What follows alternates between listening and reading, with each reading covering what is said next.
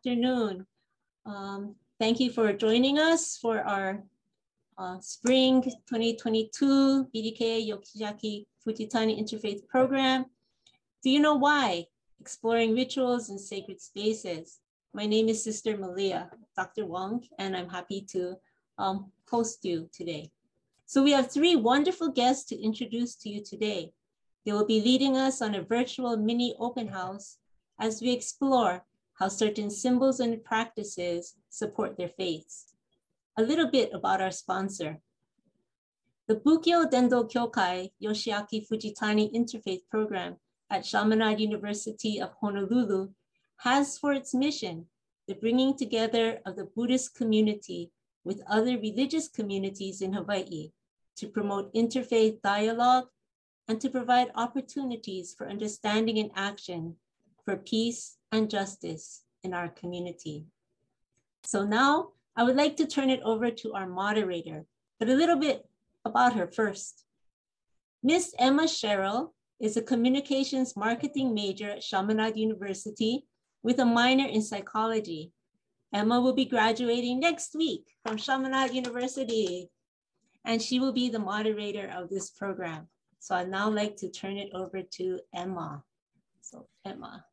Thank you, Sister Malia. Once again, my name is Emma Sherrill, and I'm so excited to be here with you guys today.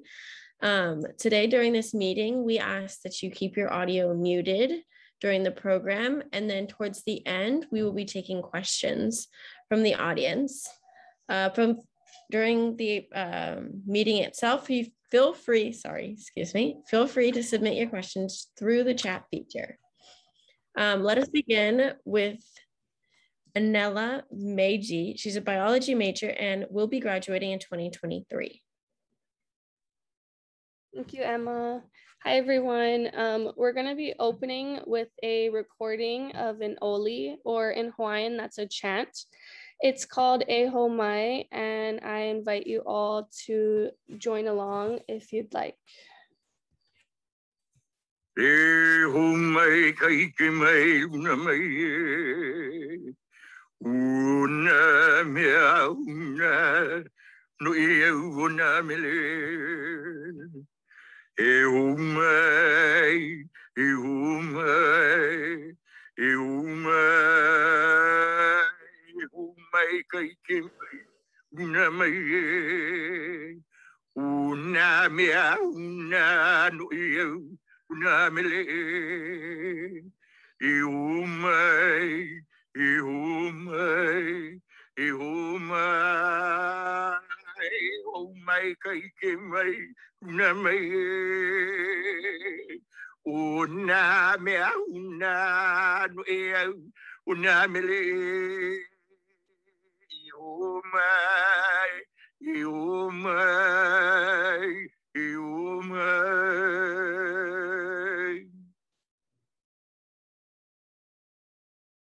Thank you, Anela. Our first presenter today will be Father Paul, and he will be introduced by Isi Karupa, who is also a biology major and will be also graduating next week.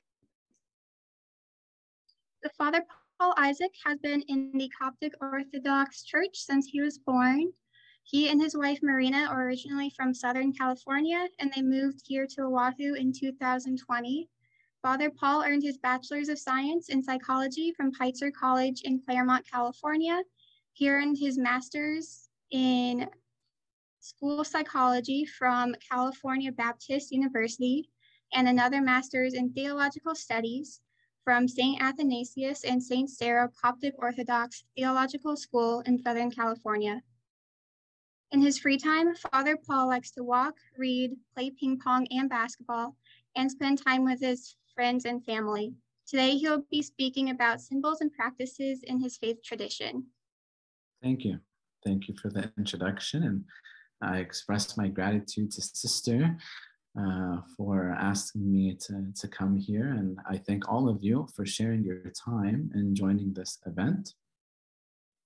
I would like to start by welcome you all to the church. And I will share my screen and I will give you a quick tour before I focus on the one to three symbols and rituals that I will share. So here we have our church. And I will go to the door so you can see the door. So here's the door that we all enter through, and it is um, tradition that once we enter, that we do the sign of the cross, and we say, We worship you, O Christ, with your good Father and the Holy Spirit, for you have come and saved us. So we see right from the start, once we enter the church doors, we say a prayer, and that helps us to focus on prayer and the reason why we're in church and to get ready for the service. Our Coptic church here is very special because of the icons. So right away, your eyes will be fixated on these icons and the beautiful colors. And I will go through them quickly. Here on the back wall, let me zoom in. Here on the back wall, we have three stories in this icon. And when we refer to icons, we refer to the iconographer. In this case, it, it was who's very talented and we say that she writes the icon because the icon tells us a story. And in this icon, on the back wall of the church, we see three stories. We see in the very back the three pyramids of Egypt. We see here Moses as a young baby. We see to the left here St. Mary and Joseph with a young Christ and that is their entry into Egypt. And then we see here on the bottom right, Moses, Aaron, Miriam, and the split of the Red Sea. So there we see three stories that were written in this icon. And then if we go to the right, here we see in the Gospel of Luke, it's mentioned that Christ healed a woman who had who couldn't stand straight. So she had a problem with her back. And we read in Luke that he tells us that Christ touched her back and she was immediately healed. And this was done on the Sabbath. So the iconographer here, she depicts the story very well. And she shows just some of the facial features of the people who were telling Christ it's the Sabbath. How could you perform a miracle, we are supposed to rest. And then if we keep going, the transfiguration of Christ on the left and the theophany of Christ, the baptism. And I'll show you another picture later when we get to it about the three uh, symbols or rituals. You'll see that we have a baptismal font right under the theophany. Here on this side, we have the birth of Christ on the left, and then the three magi and St. Mary. And then we have Christ's entry into the temple and St. Simon. And of course, as you can see, the colors are very vibrant and it's very comforting to the heart to see these images. Then here, towards the left of the sanctuary of the altar, we have three icons. On the left, we have St. Mark, who the church is named after because St. Mark is the founder of Christianity in Egypt. So, usually in any um, state or region, the first church will be named after St. Mark or St. Mary, but it's usually St. Mark. And then in the middle, we have Archangel Gabriel announcing to St. Mary the birth of Christ. And then to the right, we have St. Mary and the child Jesus. Here in the middle, I will zoom out. This is our sanctuary, our altar. And tradition tells us, just like when Moses was burning bush, Christ told Moses, take off your sandals because where you stand is holy.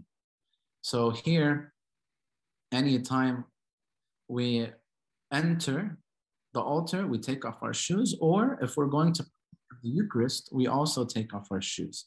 Some churches in other states, especially in Egypt, they actually take off their shoes outside. So once they enter the church, their shoes are off. So it goes to show you that we keep these traditions. And inside the sanctuary, inside the altar, you will see Christ on the throne and the 24 presbyters who are offering incense and praising God. And then on top here, we have Christ when he gave his disciples his body and blood. And then towards the right here, I'll zoom in, we have Christ, the Pantocrator. And we have in the middle the Theophany again. And then we have a saint who's very famous in Egypt. His name is Saint Mina, the Wonder Worker. And we call him the Wonder Worker because he has performed many, many miracles to the people who, who pray and who ask for his prayers for them to Christ.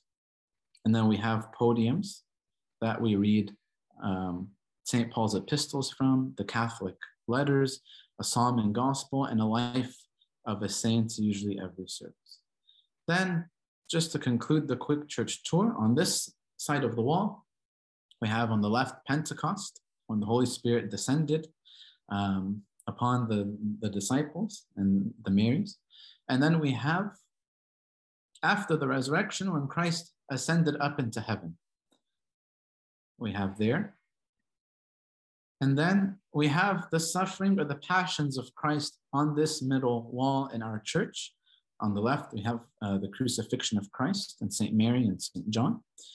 And then we have Christ who's carrying the cross, St. Simon the Cyrene, and then St. Longinos, who is the one who pierced Christ. And then we have Christ praying in the garden, and the disciples were sleeping. And we remember that this is a, rem- a reminder to us to always pray if we ever feel lazy, or tired or have an excuse. We remember here Christ telling his disciples, You couldn't stay up with me for an hour and pray. And then to finish off here, we have Christ's entry into Jerusalem, Palm Sunday. And we actually keep this tradition.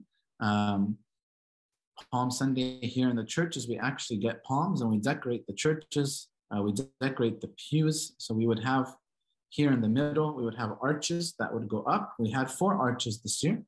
Um, and then we decorate the church with palms. So it's a very festive, very festive time. So that was just a quick uh, tour of the church. And then now I want to just touch on the three symbols or rituals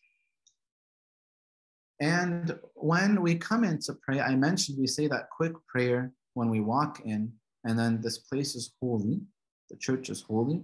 So we take off our shoes for when it's the time of the Eucharist or we ascend into the sanctuary. And I also want to note that when we come and pray, we pray with full participation of our bodies. So you might ask, what does that mean? And that means that we worship with all our senses. We worship with our eyes because we're looking towards the sanctuary and we're looking at these beautiful icons. And the sense of smell, because we have here, let me show you. I will share another portion of my screen. We have a censer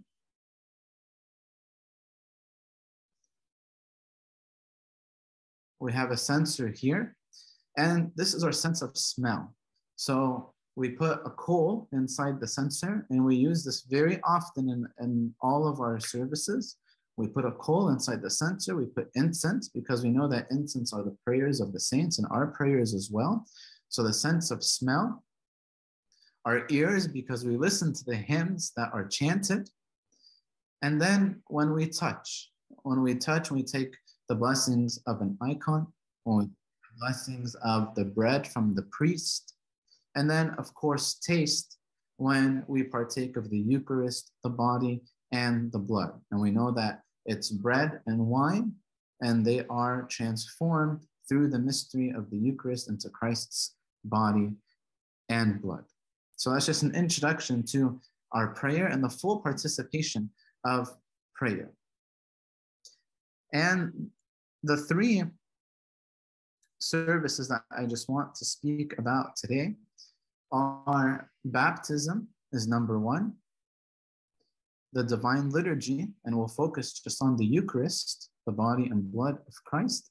And then another joyful event of weddings in the Coptic Orthodox tradition and the church.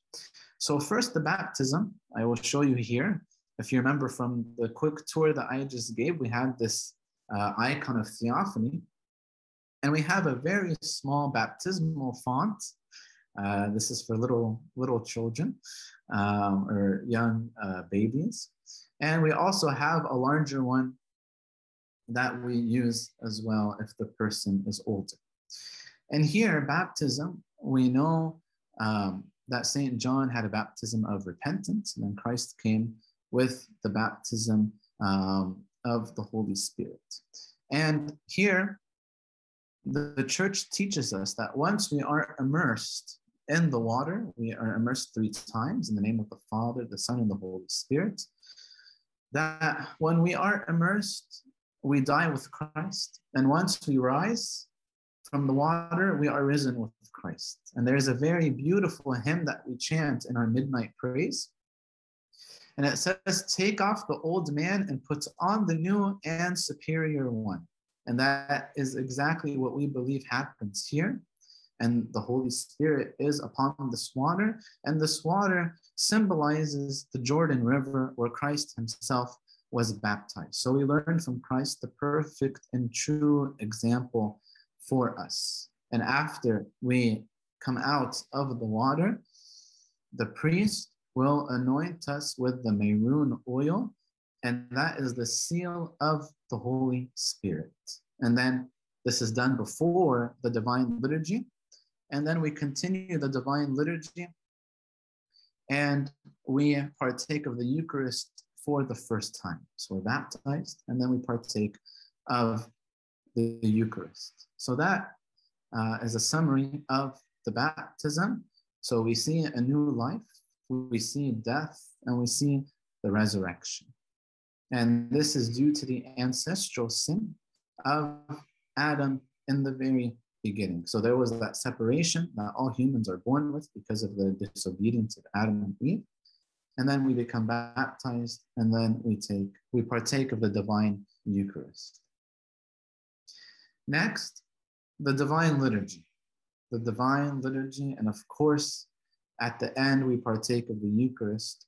And here, the divine liturgy is broken into parts. So the first part is the offertory, where the bread is baked and it's offered, and the priest will pick the best one. So there's usually at least three, that's the minimum. And it can go up to as many as 15, but of course the plate is not that large, but it's always an odd number. And the offertory in the, the ancient days is people used to come and they used to bring what the church needed in order for the offertory. So, for example, the church would need wine, they would need uh, flour for the making of the, the holy bread. They would need coal, they would need incense, they would need things for the altar, they would need books, so many things. So this is why it's called the offertory, because people would come, they would offer their things. In addition to, they would offer their prayers. So at this time, everyone is lifting their prayers while the priest or the clergy member is picking the most perfect loaf of bread that will become the body of Christ. That's the offertory. Then we have the liturgy of the word. And I showed you the podium during, during the, the tour, and I'll just share the church again. And the liturgy of the word, we read from the podium, from this podium on the right, and we read one of uh, Pauline, uh, St. Paul's epistles. We read uh, a Catholic epistle, and then we read from the Acts of the Apostles, those three from the New Testament. And then we usually read a life of a saint. So we, we learn from that saint.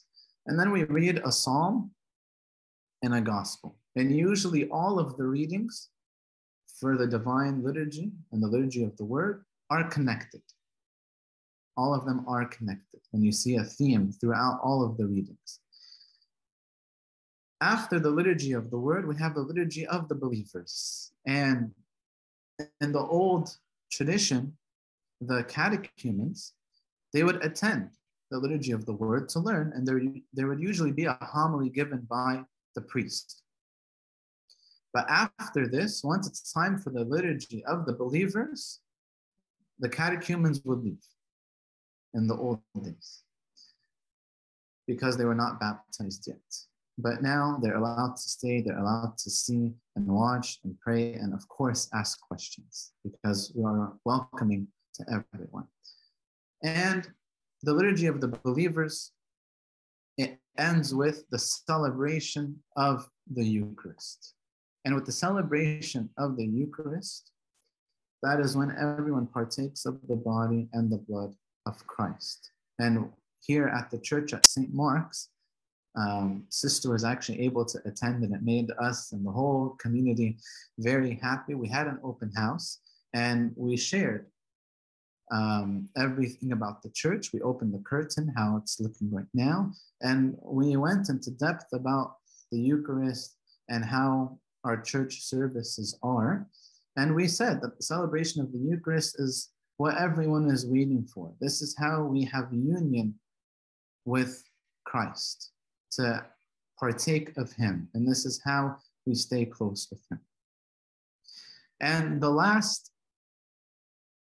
ritual that I want to go over is the wedding.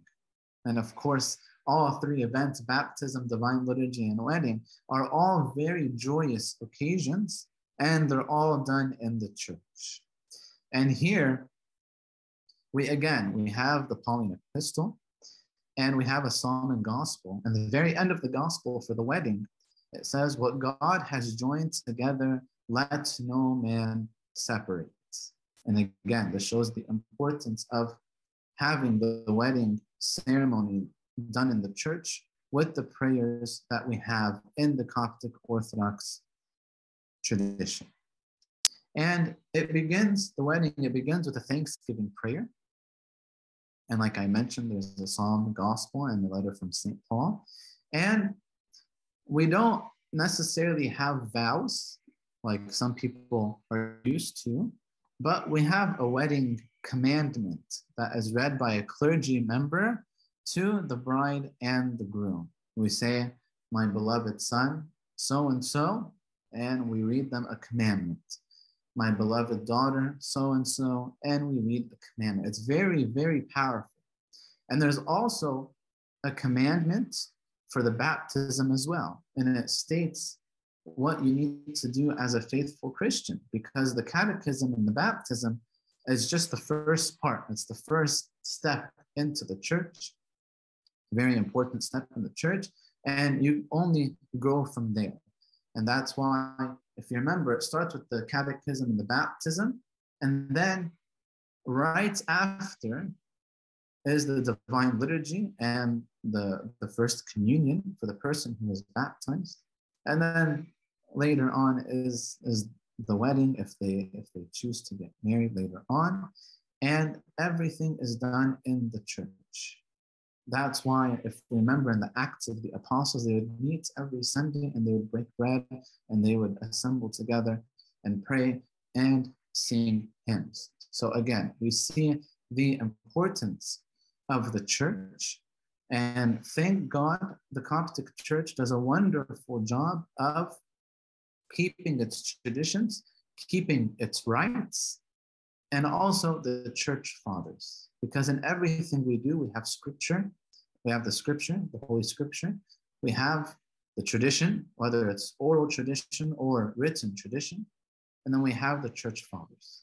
So in everything that the Coptic Church does, we include those three, and it's wholesome. And like I mentioned before, and just to conclude, when we come to the church, we worship with our whole being. We worship in full participation and we're attentive. And as you saw, we have screens and we have books, as you can see in the pews. And just to close, I, I invite all of you to come to the church because I personally don't think that this uh, virtual tour does the iconography justice. And we can sit, and I know there will be time at the end of this for questions. So I'm very excited to hear about the two other presentations that are up next. And again, I thank you for allowing me to show you our beloved church here in Honolulu, St. Mark's. Thank you.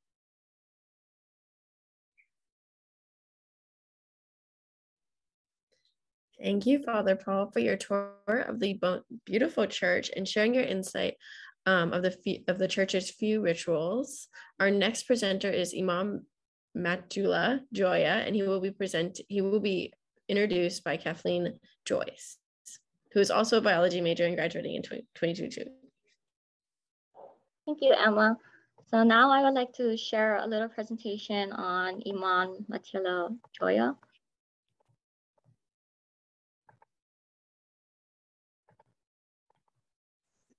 So Imam Matiullah Joyia was originally from Pakistan. He migrated to Canada with his family at age 11.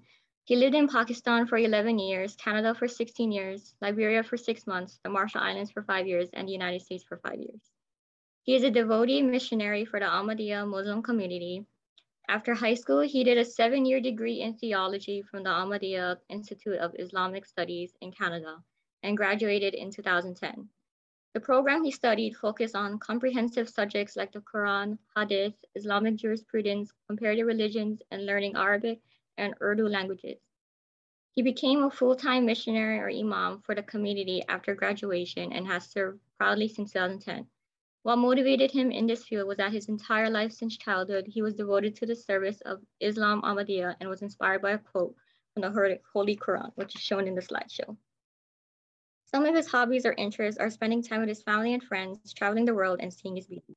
He also has a passion for teaching others, and the message he wants the audience to take from his presentation is that Islam is a religion of peace, love, and harmony.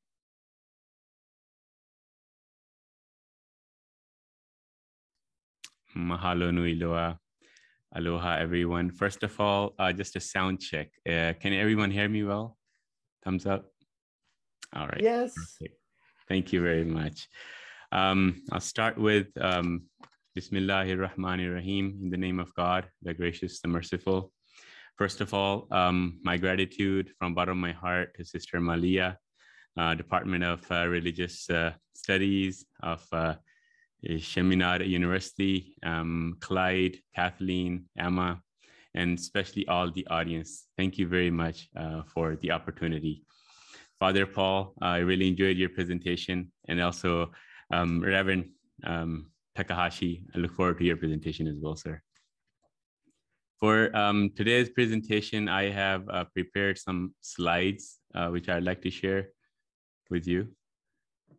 So the first one is uh, about just basics of religion of Islam, mostly because many of you may be new to the faith and um, therefore may not have that much um, knowledge of the faith. So I'll be just sharing this. Just bear with me, please.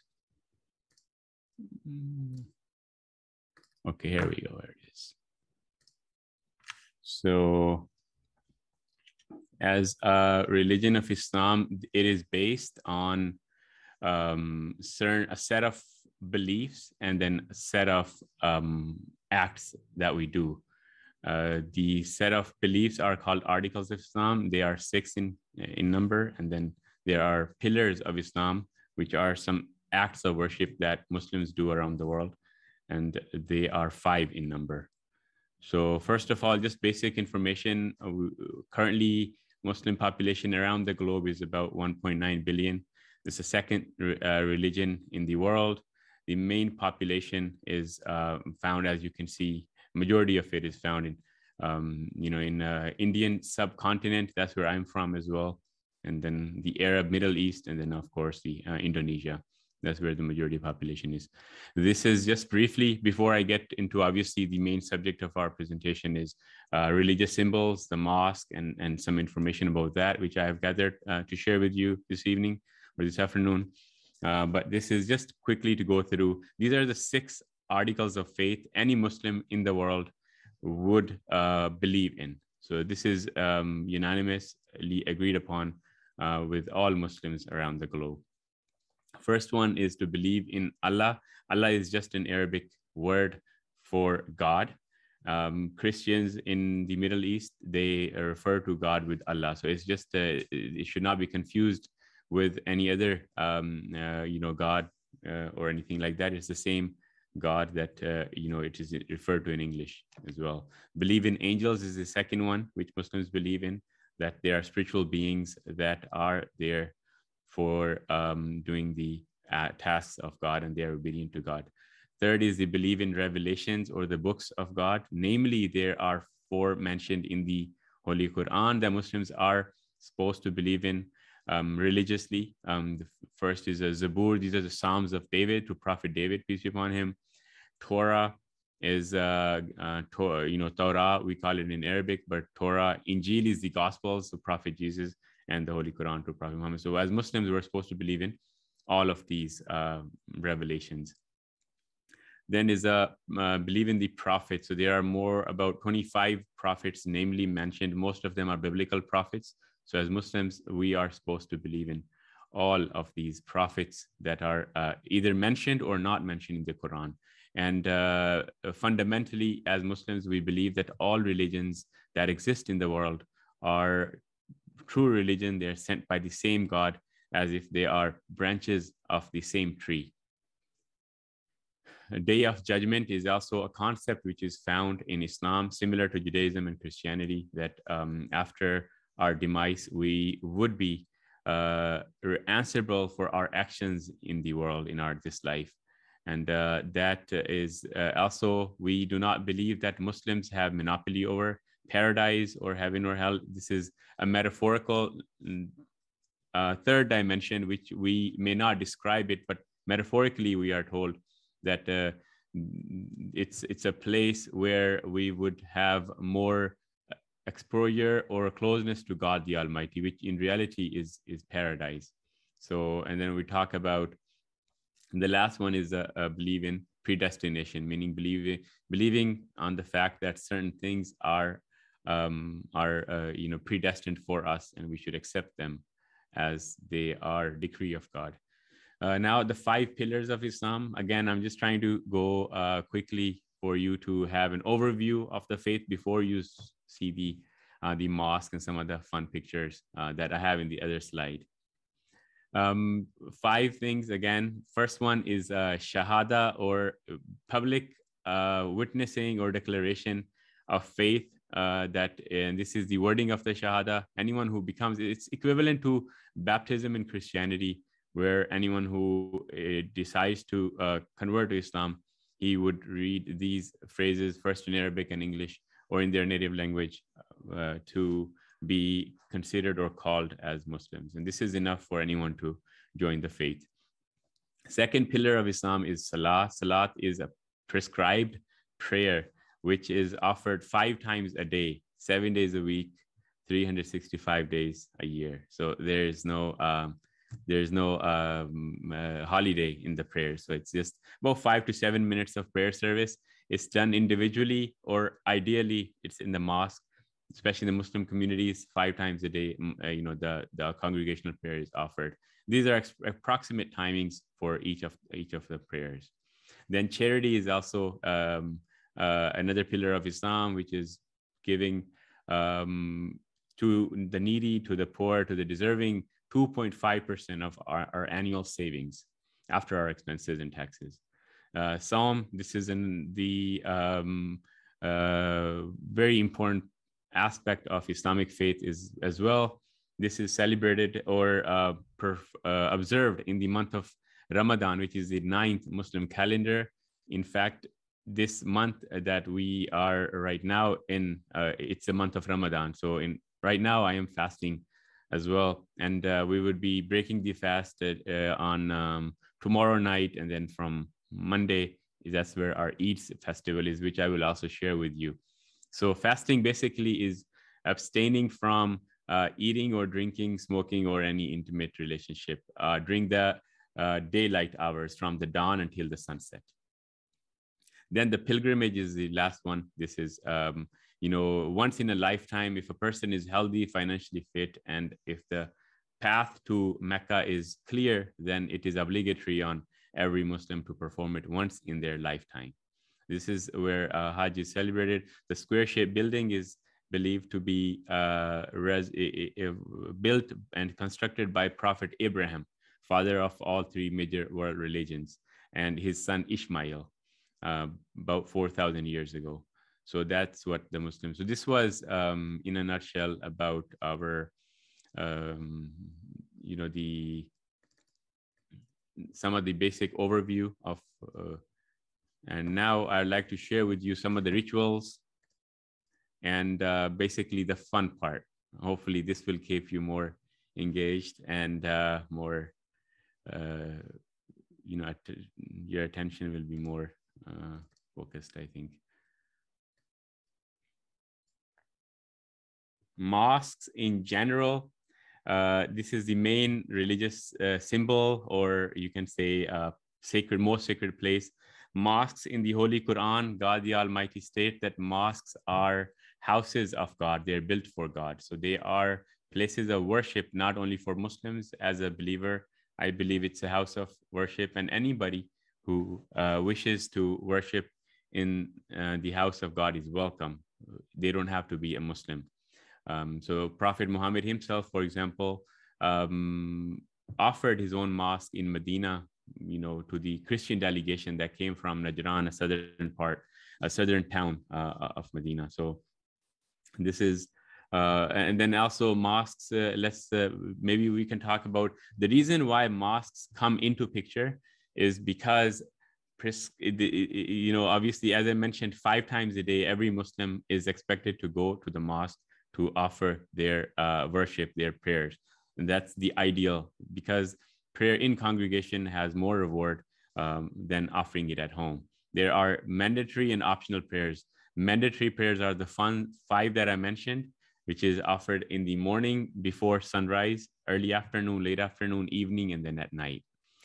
Um, for each prayer at every mosque that exists in the world, and there are hundreds and thousands, perhaps millions of them, you will see uh, these elements.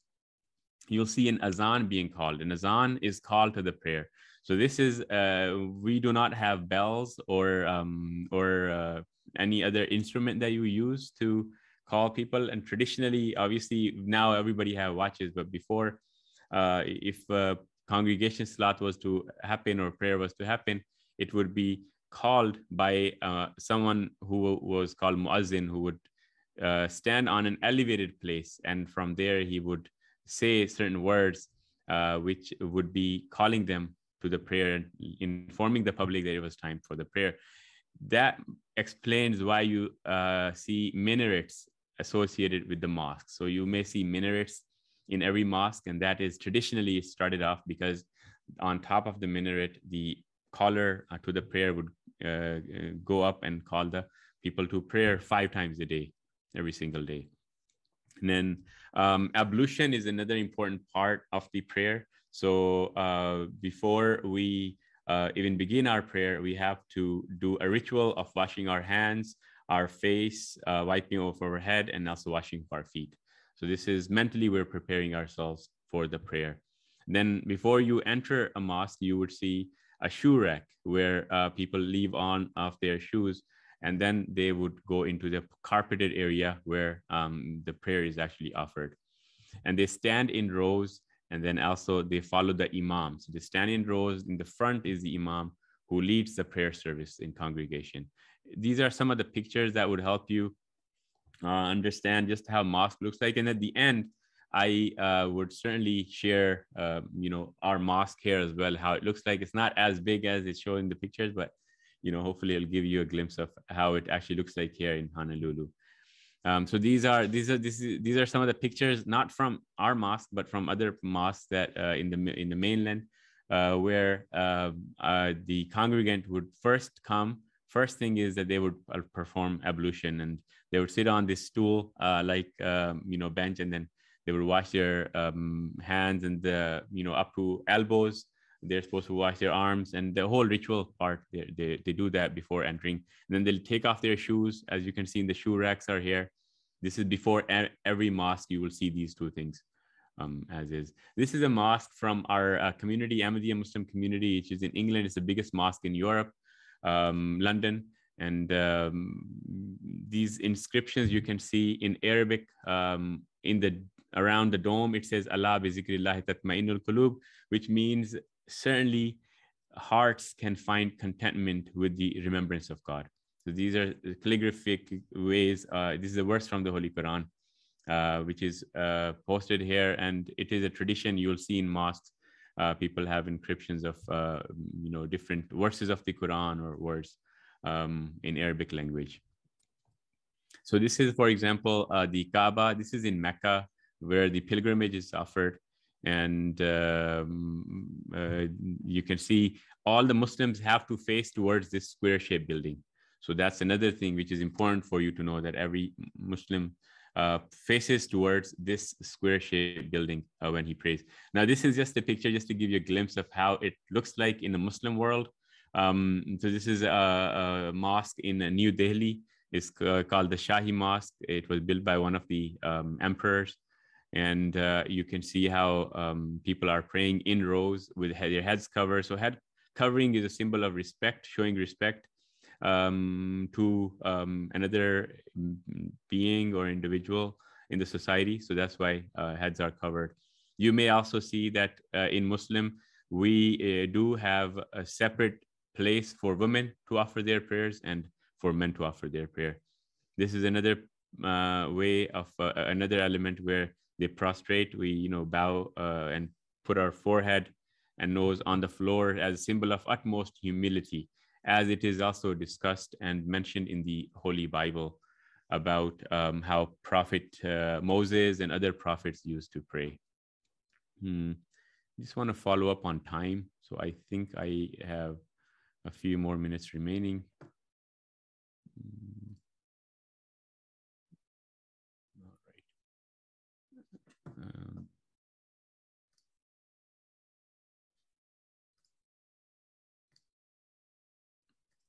here it is.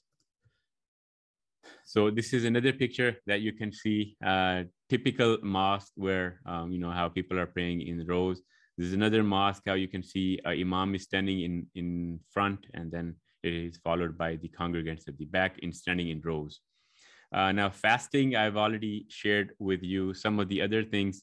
Uh, it's a pre-dawn meal is offered like in the beginning, we have breakfast, then we have after sunset, we break our fast, have dinner, and culturally in the Muslim world, they have uh, lectures on the Quran. It is much uh, uh, recited by everyone.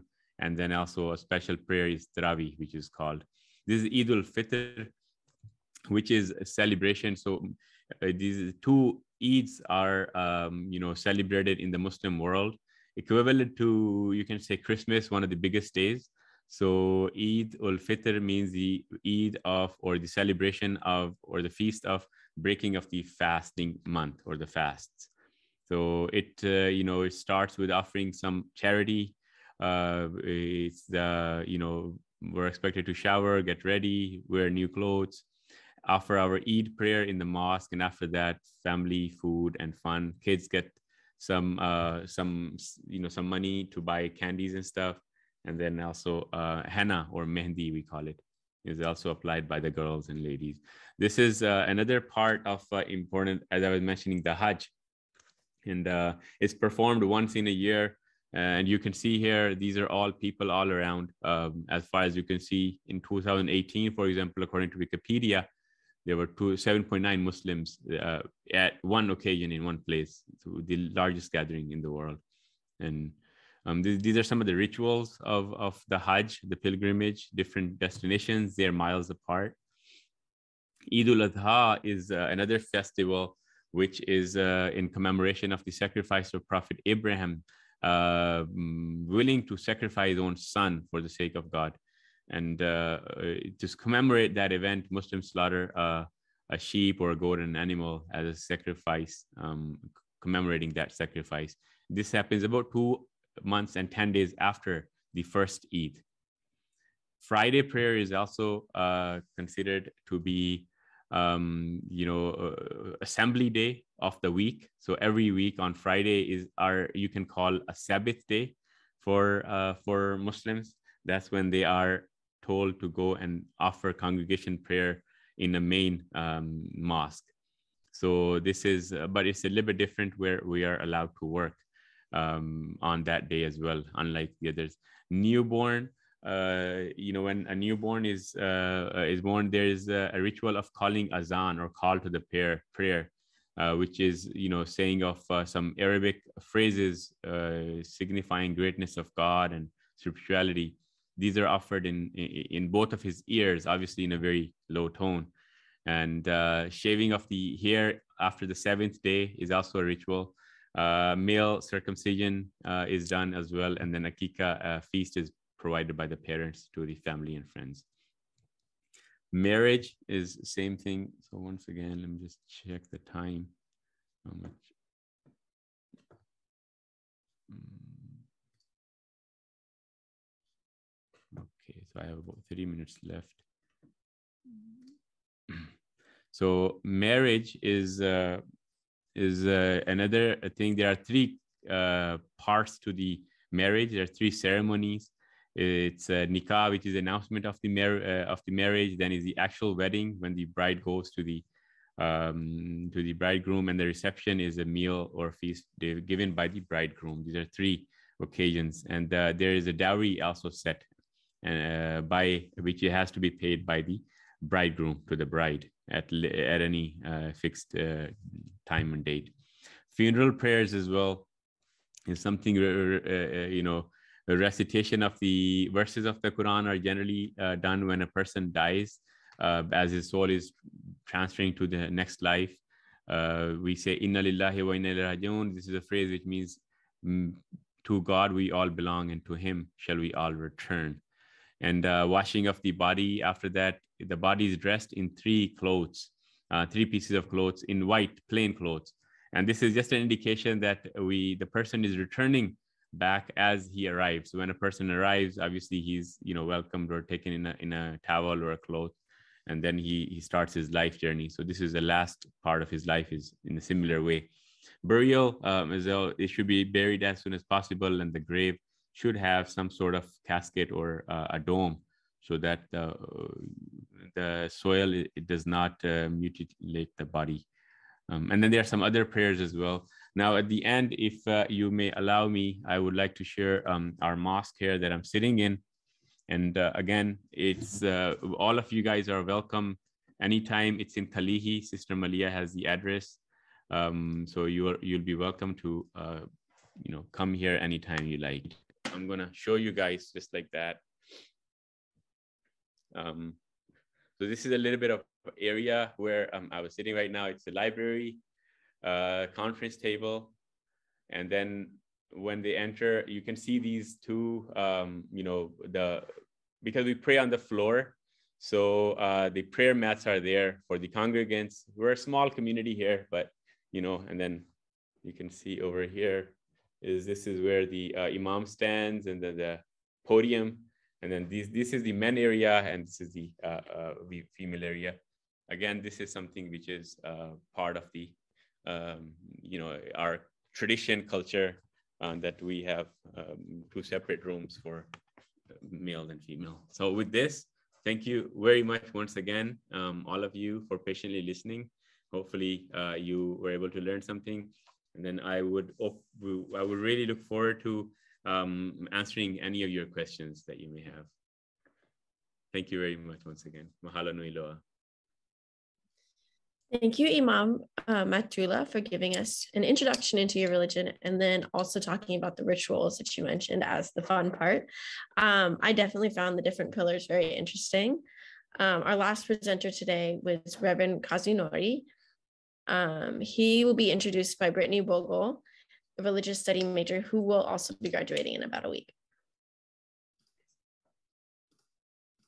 Hi everyone. It is my pleasure to introduce Reverend Kaz Kazunori. Sorry, I'm having some screen share issues here. Give me just one moment. Reverend Kazunori was born in Yamaguchi, Japan, and his home temple was actually established 520 years ago. He is the 19th generation that was born there. And prior to becoming um, a Buddhist minister, he dreamed of being a school teacher. He loves being a Buddhist minister because he enjoys sharing Buddhist teachings and also meeting new people.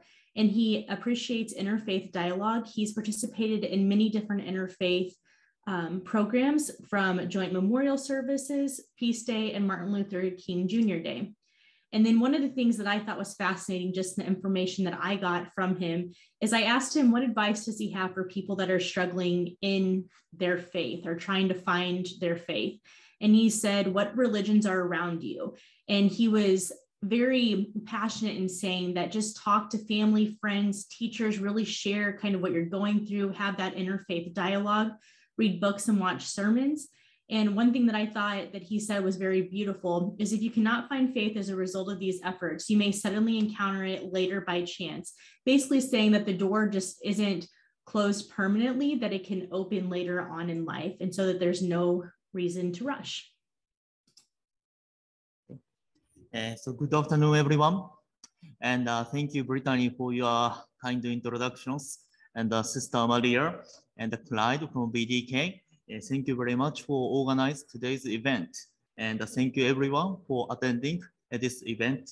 And thank you, the Father Paul and Imam Matiullah for your wonderful presentations. Today, you know, I learned, I have already learned many new things. So thank you very much.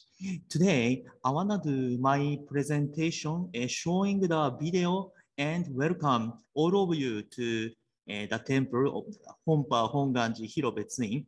So now uh, I wanna uh, share the video. So one moment, please.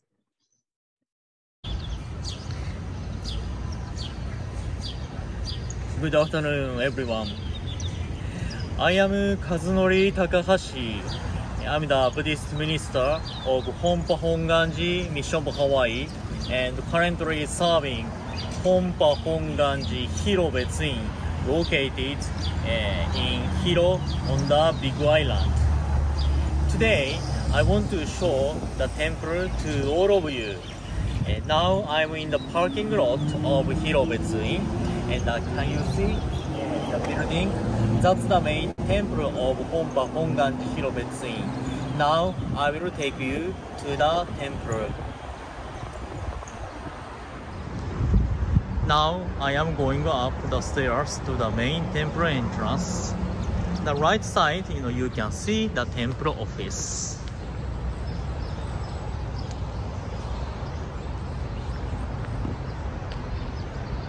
So let's go to the temple.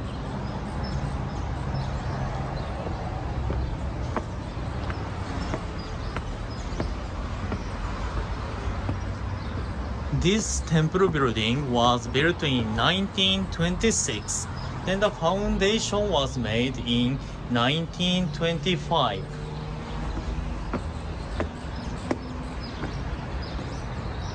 And uh, from here, you know, we can see you know, Hilo Bay. And the opposite side is the temple entrance.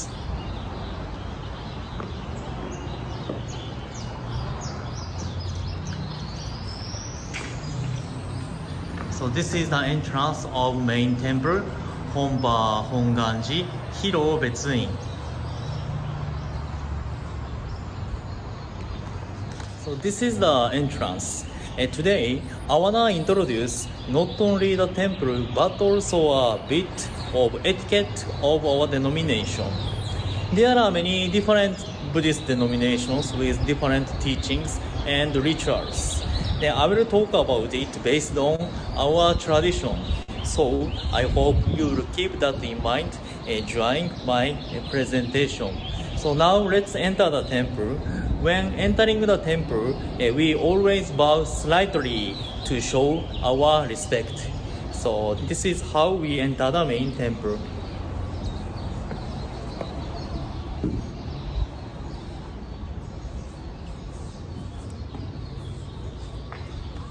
Now let's go to the front of the altar. You can see many pews here and those who attend religious services always sit here. Currently, for safety reasons, the seats are still arranged to ensure the physical distances.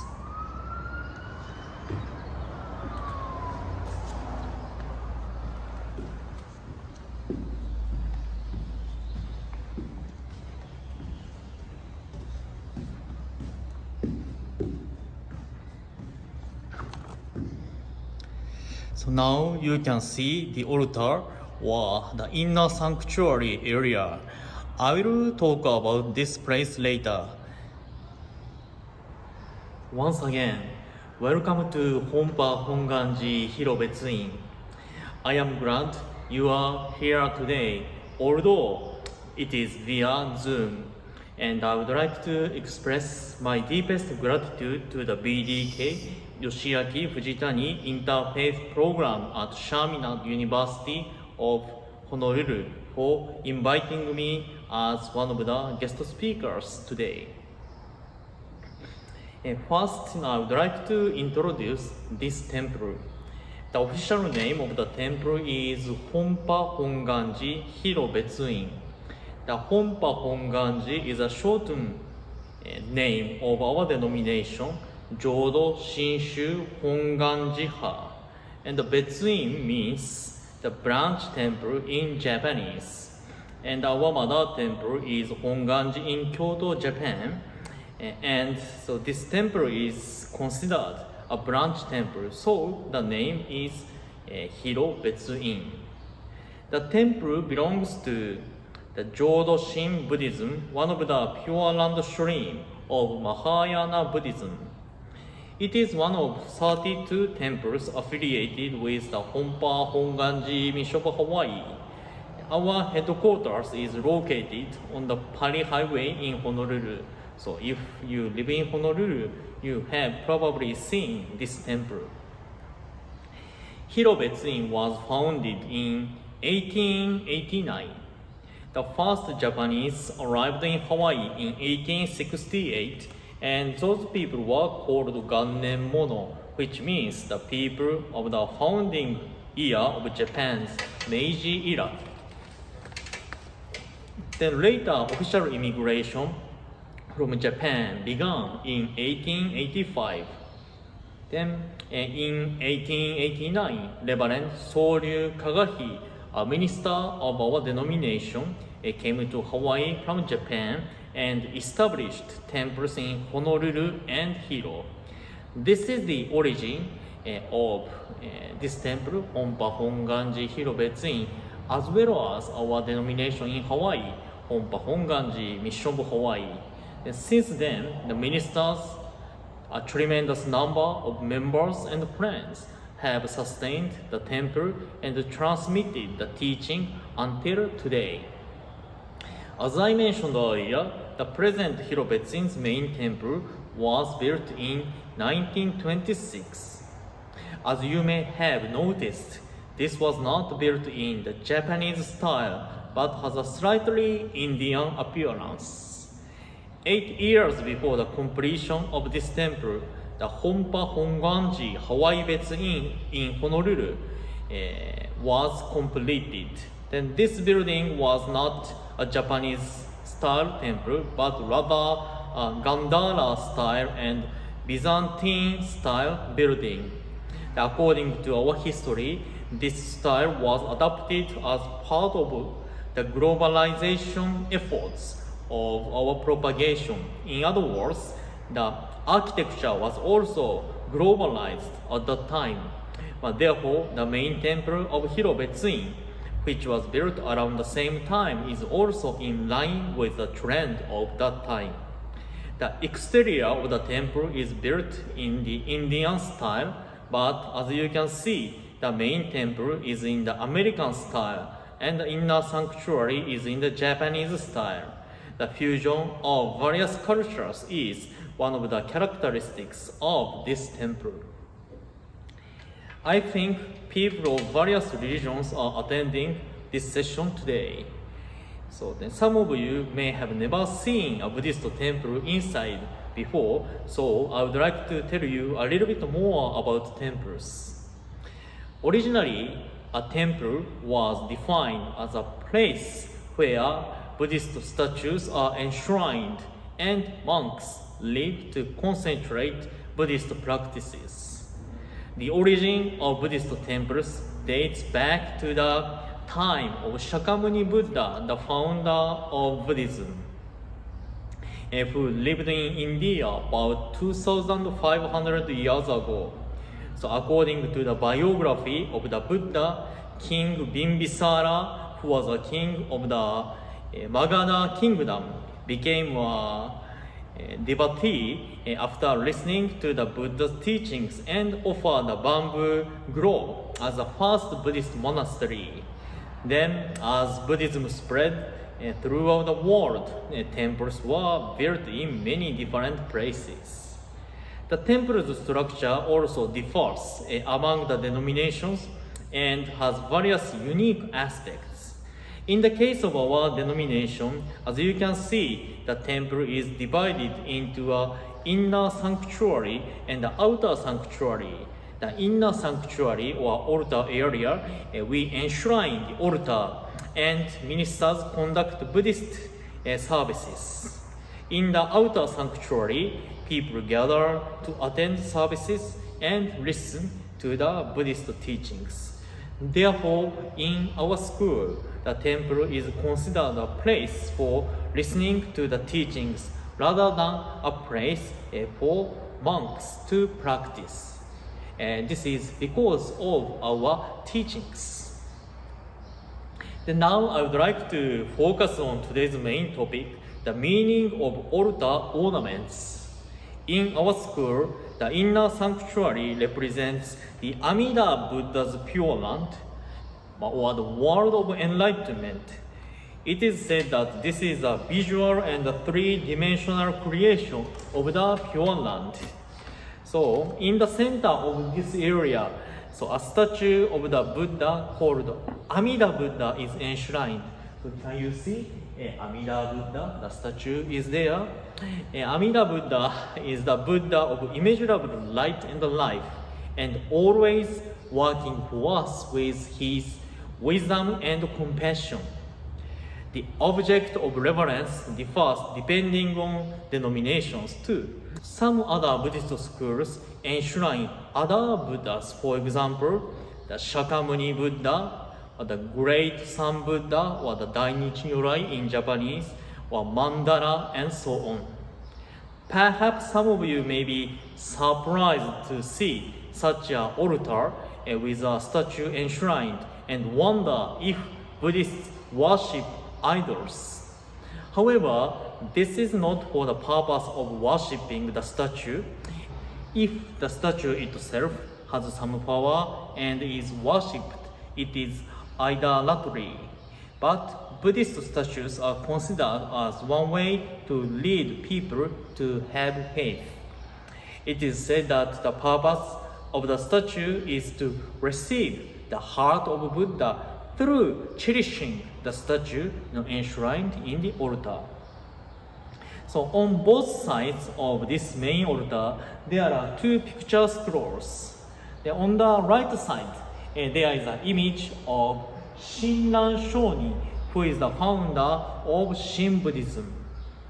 And among the various teachings of Buddhism, uh, he selected the Shin Buddhism, uh, which means know, true pure land Buddhism. Then on the left side, there is a picture scroll of Rennyo Shonin, the eighth head minister of Hongwanji. And thanks to his efforts, the teaching is spread throughout Japan, so we hang a picture scroll of him. The temple of other Buddhist sects may also display a picture of the founder of the sect or person who played an important role in the sect. So I would like to talk a little bit more about this altar area. Uh, the center of the altar area is the statue of the Buddha. Then uh, we place uh, flowers, incense, and candles in front of the statue and the picture scrolls. So do you sometimes send or give flowers to others? If a family member or friend is not well or has a sad event, you may send flowers as a gift and show sympathy. You may also send flowers for celebrations or special occasions. But thus, flowers have the power to support us in both joy and sorrow. About incense, the fragrance is not visible, but its purity pervades the space and enveloping everything equally. The light clears the darkness and brings warmth. The flame of a candle instantly dispels the darkness of anxiety and soothes them. In ancient times, kerosene oil was very precious, so they started to offer the precious lamps as an expression of reverence. Thus, through these customs, we can be reminded that the Buddha's compassion is always uh, delivered to us.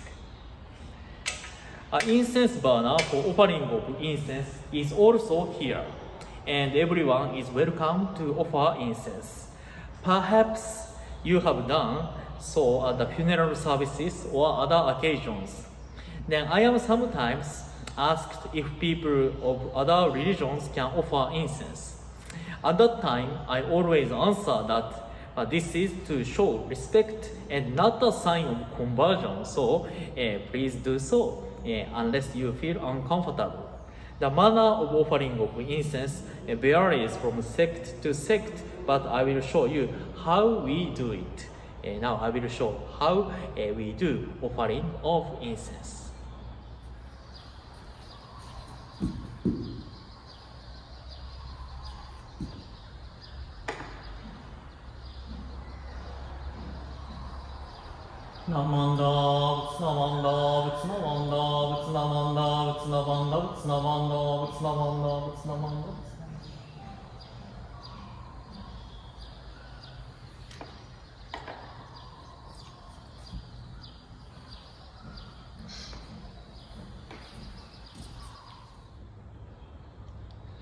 Earlier, I mentioned that our order represents Amida Buddha's Pure Land, the world of Buddha's enlightenment. Now, among the older ornaments, I would like to focus on the candles more. As I mentioned earlier, the lights clear the darkness and bring warmth. So, uh, it is said that candle lights represent Buddha's light of wisdom. Then when I think about the meaning of this candle, I always remember some story. Actually, it is in this book, The Teaching of Buddha, published by the BDK, eh, which is hosting today's event, and following story is in it. So let us imagine a desert country lying in absolute darkness with many living things swarming blindly about in it. Naturally, they will be frightened, and as they run about without recognizing one another during the night, eh, there will be frequent eh, squirming and loneliness. This is indeed a pitiful sight. Then let us imagine that suddenly a superior man with a torch appears, and everything around becomes bright and clear. The living beings in the dark solitude suddenly find a great relief, and they look about to recognize one another and happily share their companionship. By a desert country is meant a world of human life when it lies in the darkness of ignorance. And those who have no light of wisdom in their minds wander about in loneliness and fear. They were born alone and die alone. They do not know how to associate with their fellow in peaceful harmony, and uh, they are naturally despondent and fearful. So by a superior man with torch is meant Buddha assuming a human form, and by his wisdom and compassion, he illuminates the world. In this light, people find themselves as well as others and are glad to establish human fellowship and harmonious relations. Thousands of people may live in a community, but it is not one of real fellowship until they know each other and have sympathy for one another. A true community has faith and wisdom that illuminate it. It is a place where the people know and trust one another and where there is social harmony. In fact, harmony is the life and real meaning of a true community or an organization.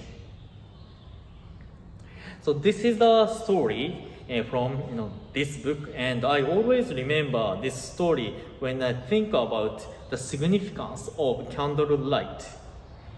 Today, in this world, there are many different ideas, cultures, countries, uh, races, religions, and so on. Sadly, some of them conflict, probably because of differences or lack of understanding or communication. Even among some small groups, families, or communities, it would happen for the same reasons. However, we can always try to understand others. We can remember that it's essential to build good relationship of mutual trust, understanding, respect, and help regardless of differences in ideas, culture, philosophy, religion, and so on. The candle lights or the Buddha's light of wisdom will always remind us of it. Today, I received a precious opportunity to introduce Honpa Hongwanji Hilo Betsuin to all of you. And it is truly significant that I was able to do that at this interfaith event. I hope I could show you the exterior and interior of the temple, especially altar, contain a variety of history and Buddhist teachings and guidance for those of us living in today's world. Please visit us if you are ever in Hilo. Also, eh, if you find a Hongwanji temple or another Buddhist temple nearby, please visit. So I look forward to meeting you in person next time. So thank you very much for listening. So I wanna end my talk by reciting uh, Buddha's sacred name. Namo Amida Butsu, Namo Amida Butsu, Namo Amida Butsu, Namo Amida Butsu, Namo Amida Butsu, Namo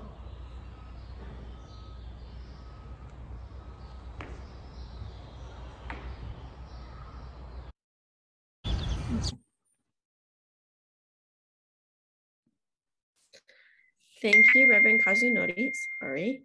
Thank you, Reverend Kazunori, for showing us your place of worship. It is absolutely beautiful. But I would also like to thank all of our presenters, and I would love to open it up for questions. Oh my goodness, I'm so sorry. Um, I would like to open the floor up for questions. The first question I see in the chat are, are the saints of the Coptic Church the same? Oh my. Okay, hold on um, are the saints of the Coptic Church the same as the saints at the Eastern Orthodox or the Roman Catholic churches? And I believe this is a question for our first presenter. Yes, uh, very good question. So we, in the Coptic Church, we have saints, and we also have what is called a Holy Synod, and that's made up of. Uh, it's going to answer the other question that I saw in the chat of our Pope, Pope Tewodros, that's his name in Coptic, or Pope Theodore II. He is um, the Pope and Patriarch of Alexandria. So he's a bishop, but since he's um, uh, the, upon the seat of Alexandria, then he carries that title. He's the first among equals. That's what we call him. So the bishops make up the synod of the Coptic Orthodox Church, and they together are the ones who canonize a saint into the Coptic Orthodox Church. But that does not mean that we do not recognize the Eastern Orthodox or the Roman Catholic churches. So we do have our Coptic Orthodox saints, but we do also have other saints from the other Orthodox churches, and we do recognize the Roman um, Catholic saints as well. Very nice. Thank you for sharing. Um, I did notice that there's a few questions in the chat as well. Feel free to speak up and unmute yourselves to ask any of the presenters questions. If you have comments as well, you can share those. I would like to um, hear from actually the presenters first, if they have any um, things that they've noticed of each other and that they would like to ask of each other. So before we take um, questions from the um, participants, let's um, hear from our presenters. If you have anything that, you know, you found a commonality or something new or um, something that you'd like to share. Thank you. Thank you, Sister Malia. I have a question for uh, Reverend Takahashi. I noticed you were wearing the, you were holding beads. I wonder what they signify for because we do also have um, that uh, tradition of, uh, of of beads, and it has like a hundred beads uh, in in the lei. But I wonder what what is representation in your Ah. um, culture. Okay, thank you very much for your question. Uh, this is uh, this can be the Buddhist beads in English. Uh, in Japanese, it's called nenju, and uh, this is uh, used to uh, respect, to show respect to the Buddha, and uh, we use uh, this beads in uh, this way. And uh, actually, the significance of this uh, item is different depending on uh, the denominations of Buddhism. There are many different you know, traditions. Uh, in some, uh, then uh, the meaning can be also different in different, uh, in different schools. Sometimes they use uh, this nenju to count uh, the reciting the name, the reciting the Buddha's names. yeah. Um, but uh, in our traditions, you know, uh, we just uh, use this to show our respect uh, to the Buddha. Yeah, thank you. Yeah, just for your information, so we have that too. Uh, in the Muslim world, you may see Muslims holding the beads. So there are 100 beads, and they uh, they count various Arabic phrases uh, at Oh. each at each. So it's just it's used for accounting purposes. Really? Yeah, Oh, so I think that's very similar. Similar yeah, very interesting. Yeah. Thank Very you. nice. I want to add that in the Coptic Church, we also have a prayer rope. Um, it's similar to the Catholic uh, rosary, actually, and it has small beads. And then it's usually, uh, it can vary in number. It can be as many as 50, it can be as little as 10. And we usually say for each bead, Lord, have mercy, or Ya Burham in Arabic, or uh, for those in Arabic. And then um, after 10 or a certain number, then we pray the Lord's Prayer of our Father. So it's very nice, actually. It's a very good question. Thank you. That all, all three share this. Thank you. Thank you, Father Paul. Okay, would anybody else like to ask a question to the presenters or share a comment of something that they noticed or found interesting? I've noticed a question which I believe is referred to me uh, earlier in the chat. Mhm. Would you like me to uh, read it and then maybe try to? It's, Oh, sure. The answer isn't long. Yeah. go it. So I think the question was that they've noticed. Um, they've uh, here. I'll just read it here. I saw pictures of socially distanced Hajj online. I assume it's a similar um, during wedding and serum and other similar events. So uh, because of the COVID, um, you know, obviously social distancing was done in the mosque as well. We would stand about six feet apart with masks on. Uh, weddings, uh, I've one of my family uh, had a wedding in Toronto, Canada, and they just had a drive-through wedding. So basically, they, uh, every family would come, take a picture, and would have a a bentos or, or a, a to-go box with them, and they would just eat in the in the car. So there was a tradition in there as well. So we try to adapt and you know compromise with, with the condition, but thankfully it's over now. Things are back to normal. So thank you. I also have a question. Uh, did you answer already the question about Kanun? Kanun? Do you mind repeating that one more time? I'm sorry. Uh, uh, so I, my daughter is interested in, in various religions and she had a book, she has a book of Kanun. Kanun. And so it is like medieval, right? Um, no, she reads it and there are a lot of interesting, not only administrative, but everyday even rules for families. And uh, so uh, how important is, Kanun is today, or it is only interesting like historically? If it's for me, uh, the word kanun, um, er, uh, for me, it's uh, in Arabic, it means law. And um, I'm not sure which uh, book exactly that uh, you're referring to that your daughter is reading. But I think it is like end of medi um, medieval century. Right. I believe it. Ottoman Empire, but there are also probably rules, administrative rules there uh, right. it appeared there. But then there are a lot of uh, laws uh, referring to family rules, like position, what women should do, what men should do. So she reads actually various from various traditions just out of curiosity. Yeah, thanks. How is today? Is it read actually? It's supposed to be read by everyone. Every it says at the beginning, but maybe nobody but who reads it today. Yeah, so there there have been uh, various books written by different like Muslim scholars, saints, philosophers, uh, and physicians, uh, and this I believe is one of them. I'll try to while I think you're having the other questions, I'll try to dig into it and see if I can get you some more information about it.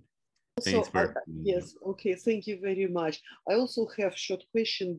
Uh, I noticed them in um, Mecca around mm -hmm they are not wearing white robe, though historically it's supposed to be the robe of Abraham.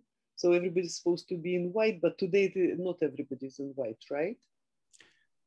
So um, uh, about Hajj, basically it predates Islam. Hajj was a ritual that was done uh, even before the existence of Islam. And uh, traditionally they would do Hajj naked. Um, but you know, when the advent of Islam, Prophet uh, peace upon him, he legislated that uh, a white uh, sheet. There should be two sheets, one um, for lower part of the body and the second for the upper part of the body. So for um, all uh, pilgrims or anyone who's visiting the Hajj in Mecca, they are covered in these two white sheets, plain sheets of signifying, you know, simplicity and and and um, a new birth, spiritually speaking. Um, so that's uh, it is. I, am not sure which picture you saw, but I'm pretty sure anyone who's going there for a smaller pilgrimage, which is Umrah, or for Hajj, they uh, are supposed to wear that, and there are certain points at of entry where they're supposed to be wearing that dress um, before entering the Mecca. Thanks for asking that question. It was very intelligent one. Um, because I dream one day to go to Egypt. I have a question um, about Coptic Church. Are there any particular sacred like places to visit today that are particular sacred for Coptic Church? And maybe there are um, some uh, the most ancient maybe icons there uh, from Orthodox, uh, like ordinary Orthodox Church. I saw one day on Samos, uh, second century icon on the stone it's on the top of the mountain. But maybe uh, there are today some places where people try to visit in Egypt particularly. Yes, that's a very good question again. Um, so in, in Egypt, I'll speak for Egypt first, um, we have where the Holy Family stayed when they were fleeing from Herod. They went to Egypt And we call that place um, Masr Edima, or we call it Old Egypt. And it's, it's near uh, Cairo. And it's where a lot of churches are. There's seven churches there. And they actually preserved an underground area under the churches. And it's open to the public to go under. And you can see where Christ and where the Holy Family stayed.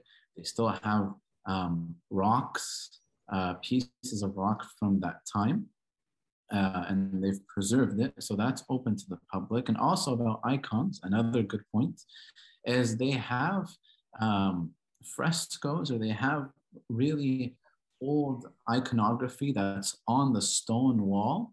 Um, so usually they would write an icon on um, a piece of wood but these were done right on the monastery uh, walls itself and they ha still have it preserved and they are in the ancient monasteries in egypt. So you have the red sea uh, saint uh, anthony's monastery in the red sea st paul's monastery in the red sea and you have the monasteries in wadi al-natrun in egypt uh, near cairo um, st bishoy's monastery and the uh, Syrian monastery as well, uh, and St. Mary's Monastery and St. Macarius. Those four monasteries, they are the most ancient. And then you also have two other areas. We have uh, in uh, Sinai, and then you have in Jerusalem, of course, um, a lot of Christians go to the, the tomb of Christ and uh, they see the, the, the resurrection church and also the nativity where Christ was born. So between those three, those are the most important uh, areas or places um, where a lot of Coptic and Christians would go.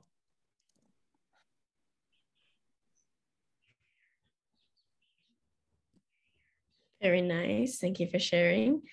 Um, I believe that we have one more question. Yeah, I have a question as leaders of your specific church, what has been the most impactful memory or experience that you've had that helped either your growth or just helped you like through a hard time? Because I'm sure you guys have hard days too, in your leadership roles.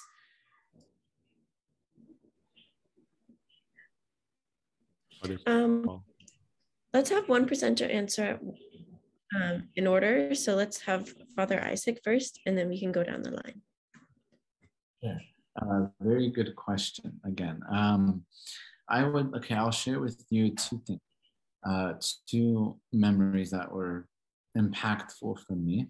Um, one is journeying with a person during their catechism. So a person might have come um, older uh, in their life and they're looking for a religion, for the faith. And they come and they see the church. They want to sit. They want to learn. And it's different for each person. Some people it takes six months. Uh, some people it takes a year two years three years. It's different for each person.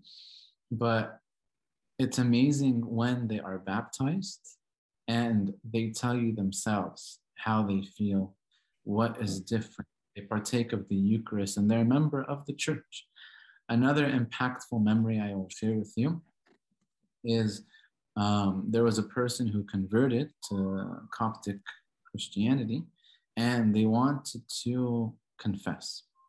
And it was their first time. They converted um, in their 40s and they began to confess and they just started weeping and that in and of itself were tears of repentance. And that was very impactful for me. And I believe that that person coming to confess was God teaching myself uh, a lesson in humility.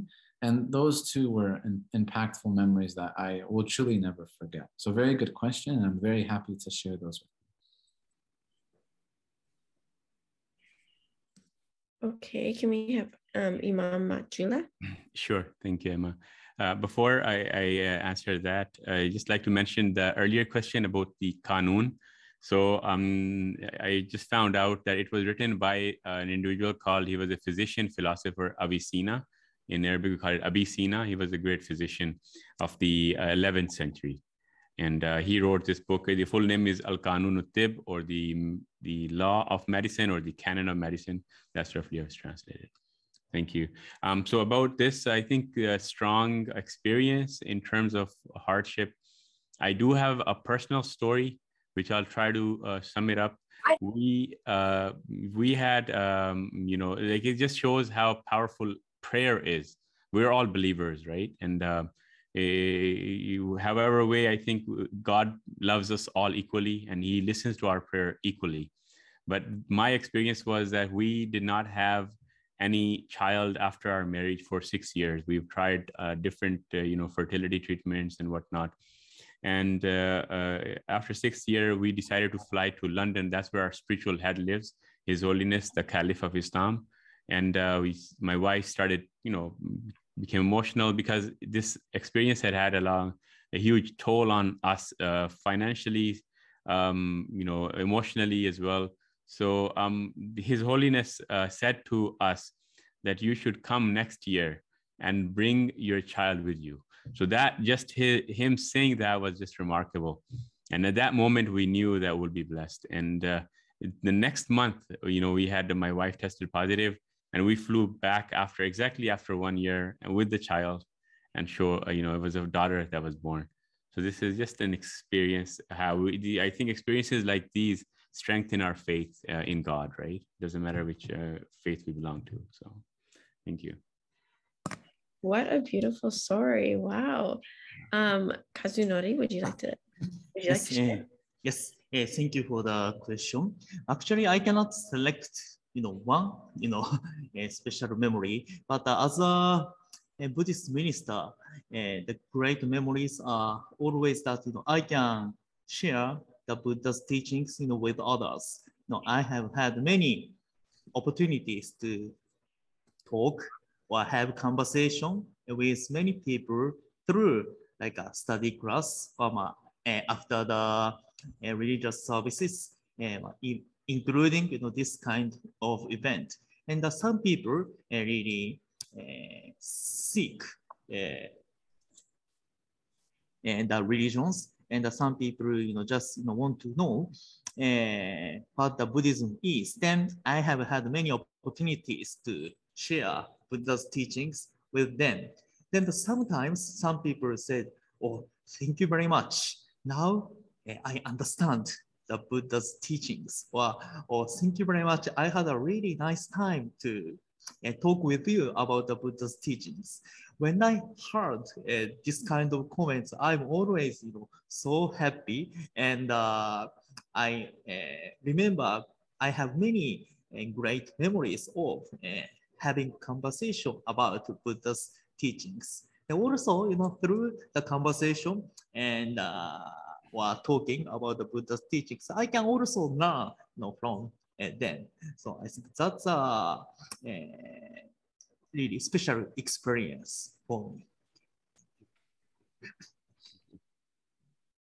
Thank you again, everyone, for sharing. I have a question that I would like to ask.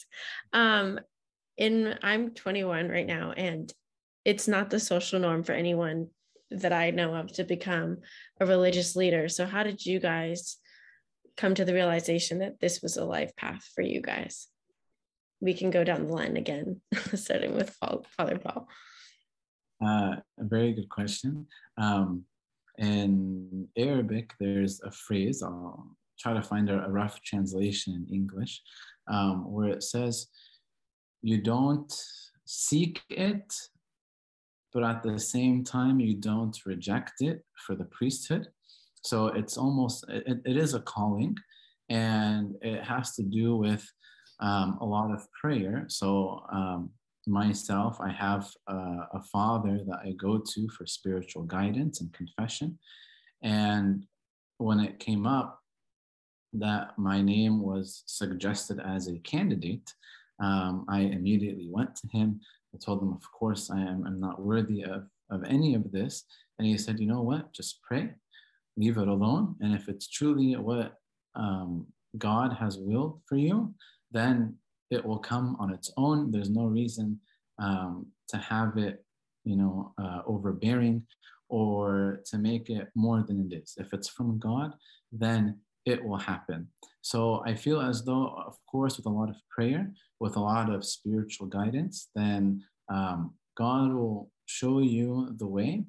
And of course, we all need God's love and God's support um, in our lives. And it doesn't matter if we're a religious leader or, or anything, because again, we're here uh, to show God's love to everyone.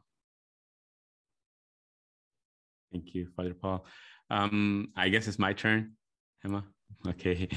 Um, so uh, my story is in grade eight. My my brother would uh, make sure that I read at least a portion of the Holy Quran. Um, so I would he would just call me and then I'll just read it to him over the phone. And one uh, verse which just it just clicked, and uh, that verse goes, "Waman aslama wajhahu lillahi wa huwa muhsinun, fala khawfun alayhim wa lahum yahzanun." The one who submits to God and does good work will not have to worry about his future anxieties or his past mistakes or sins. So I thought of, uh, of a life where I would want to be free of any worry, uh, contentment, just peace of mind. And uh, this verse promised me that. So, um, you know, I, it's been about 10, 10 years so far, and I think I made the right, right decision because this is absolutely what I was promised for, and I am living that dream. Yeah, thank you. Excuse me, Emma. You, yes, you, of course. Yeah, sorry, could you tell me your question again? Oh, yeah. yeah. Um, I just said that um, at my age, I personally do not know anyone that is taking the religious path to become a priest or to become a faith leader. And I wanted to know how did you guys end up at that career path? I'm not quite sure career is the right way, right word, but that path, that life path. Okay. Can I share my personal story with you? Of course, please. Yeah, so as I was introduced at the beginning of my presentation, I was born in the temple family.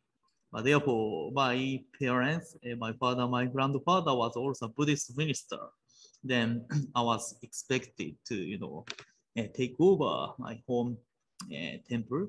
Then, however, you know, when I was a teenager, uh, honestly speaking, somehow it was hard for me to become interested in religion, Buddhism. Then uh, uh, I, I wanted to be, you know, school teacher. Yeah. Uh, uh, but therefore, at that time, I think I do not have uh,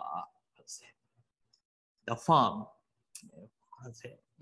the foundation of, you know, faith, yeah, religious foundation.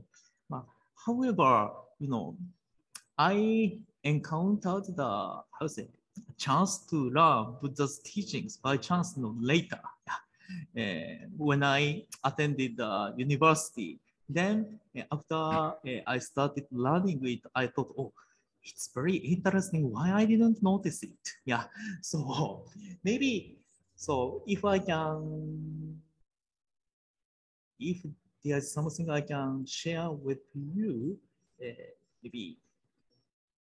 I think on one hand, it's good to seek, continue seeking. But if you are interested in something, I think you can try to get more information. But even if it's you know, hard to find, you know, something, I think uh, you don't need to rush and maybe you can talk with many different people. Then one day, maybe you encounter something. Uh, and uh, this is uh, based on my experience. Thank you. Very nice. Thank you all for sharing. Um, I'm going to open the grounds up again for a few more questions. I have another question, but I'll save it in case anybody else has questions to ask. Uh, there's a question on the chat. There's one question. Okay. Um, okay, this is from Clyde. What may we do as separate faiths to bring all people of Hawaii together in unity. Um, anyone can take this as they feel fit. Uh, I can give a short answer and if any other presenters want to add or chime in, they can. Please feel free. I believe um, Father Anastasi, who was the the monk priest here before I got here, I believe he had an event in either 2016 or 2018. I can't recall. It was uh, Praise the Lord event or Praise the Lord event. And he invited uh, many different faiths. And it was almost like an event like this, interfaith.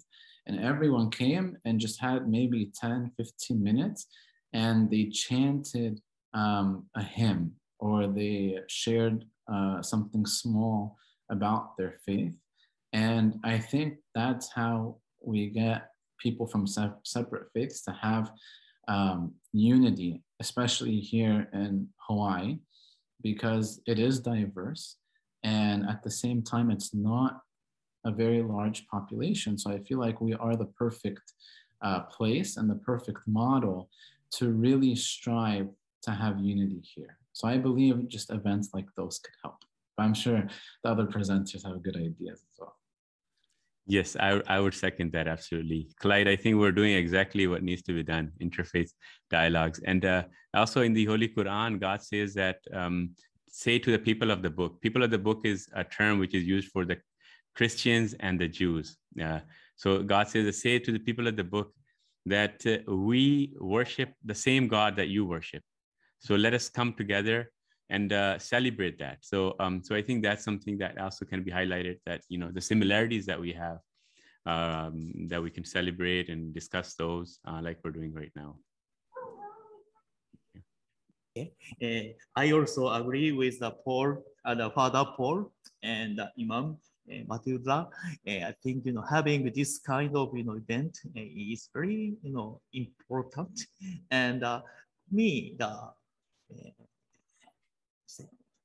bring uh, to bring all people of Hawaii together in unity, and you know to say, attain to attain uh, this goal, I think it's important to continue having this kind of event and especially you know knowing uh, others and knowing you know each other. You know, without this kind of event, uh, I, I hardly have uh, chances uh, to uh, talk with others. Then, sorry, I want to share you know something with you this is relating to the teaching of Buddhism. Actually, I wanted to share it during my presentation, but the time was limited, so I didn't include it. Actually, in Buddhism, uh, there is another very important symbol in the altar. Do you know the lotus flower? Lotus flower. Uh, I think that in the today's uh, event uh, prior, I have this. The I think the lotus is here. Mm -hmm. yeah? yes. The lotus is a very important flower, and uh, it is said that in the Buddha's world, Pure Land too, there are so many lotuses. And the lotus, uh, there are many different colors of lotuses, like a uh, red color, blue color, yellow color, white colors. Then the Pure Land looks so beautiful. But in addition, those flowers you know, shine each other uh, therefore, uh, in the Buddha's world, uh, Buddha's world are decorated beautifully with such lotus flowers. And in our world too, yeah, like the color of flowers, there are many different colors. Then uh, through knowing others, I think you know we can shine uh, each other, each other, and uh, create a great you know community. Yeah. So I wanted to share it with you. Thank you for sharing. I definitely enjoyed everyone's sentiments, but especially um, getting together and doing exactly what we're doing today. That seems very important and realizing that we're not all that much different than each other, no matter what religion we choose to aspire to be part of. And then, so my last question is um, how do you see Buddha, Allah, Jesus as a friend, Lord, teacher, um, still being so far into your faith as a leader versus as just a worshiper? We can go down the line. we can go down the line again. Um, we let's start with you, Father Paul. Okay, no, very good question. It's a very uh, realistic and um, uh, question that we all face, um, and I believe that you know for all of us, if our relationship isn't strong, um, if our faith isn't strong with ourselves, then we hinder ourselves and we also hinder others when we try to help others because we have to be strong in order to help others. And I think it's just like, again, practically speaking, it's as if you have um, a best friend or a father, and a father will love you. And sometimes he will um, chasten you, um, but it's all out of love. And that's something that we always have to remember. And the more you talk to your father, the more that you confide in your father, uh, you have to keep that relationship strong and you have to put effort. Because once you do all of those, then the relationship will be strong. You will um, have a good feeling, a good, and then you can further share that with others. So it all starts within yourself and you have to put effort. And then after that, then you can share with others as well. Thank you for sharing. Um, do we want to um, go down the line? yeah, sure. You know, I'm very lucky to be in the middle. So either when a person starts from the first or the last, I will always have some time to think in the back of my head to for the answer. So um, yeah, so I think in the Holy Quran, God the Almighty states that wa iza sa'alaka ibadi anni fa inni qarib ujibu da'an that when my servant asked thee about me, God is saying that to Prophet Muhammad, when my servant asked thee about me, tell them that I am near. I listen the call of the supplicant when he prays to me. So this is his promise. This is his, uh, that uh, God has given us that he would always reply. So that is something that I find uh, inspiration in as a Muslim. That uh, as a Muslim, we do not have, have to go through any agency. Even for a Muslim, he does not have to go or she does not have to go to God through me. He, they have this personal relationship. So that personal concept, personal God, uh, is there, and that's what we find inspiration in. Thank you. Very nice. Thank you. Sorry, you know, Emma, could you tell me question again? Yes, yes, of course. Yeah, thank you. Um, so it was, how do you see Buddha, Allah, or Jesus as a friend, Lord, teacher, even still as being a religious leader versus being a worshiper, like I assume the rest of us are in this in this Zoom. Okay, so uh, you know how do I see Buddha as a religious leader and as a one of the followers? Yeah, of course. I said uh, friend, Lord, teacher. Um, mm. How do you how do you see that relationship um, as the uh, religious leader? Okay. Yes. Yeah. Uh, this may be relating to our uh, Buddhist teaching. Uh, actually, now uh, I'm uh, serving this temple as a religious leader, yeah, as a Buddhist minister. But if I go to the Buddhist teachings, I'm one of the how to say, human beings, a typical, you know, human beings. Yeah. So uh, then as a Buddhist minister, I share the Buddha's words, Buddha Dharma with others. But uh, at the same time, I feel that I'm walking the path of life, uh, listening to the Buddha's teachings, you know, with others. So uh, I, I always feel that, you know, uh, I should not forget that attitude. But even, you know, uh, when I serve uh, temple as a religious leader. Okay. Thank you. I, I, I yes. hope I could answer your question. No, that was a good answer. Thank yes, you for yeah. sharing. Um, I'm going to open the floor up again just for any last questions before we kind of do some closing remarks. All right, no more. Um, okay. I would like to thank everyone for attending this meeting, especially Father Paul, Imam Matiullah, and Reverend Kazunori. Um, I would like to introduce Ka'ali'i Aloha Sport. She's a biology major and she will be graduating in 2023 for closing benediction. Um, hi everyone. Um, we'll be closing with a recording of an Oli or a Hawaiian chant called Oli Mahalo. Um, it is a chant for thanks and closing, and there will be lyrics, so I invite you all to chant along if you would like to. Ia kamakalo ai ke alohala. Ku ka ia kahalo ala. Ave mai na lehua. Mai ko o ku ia ka halawa ila. Alo e ke apua.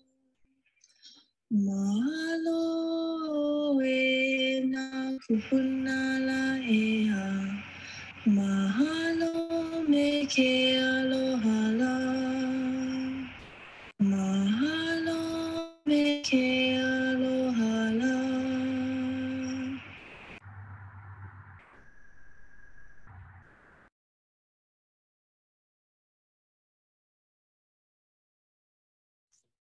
Mahalo. Uh, thank you very much, Ki'ili, for the closing.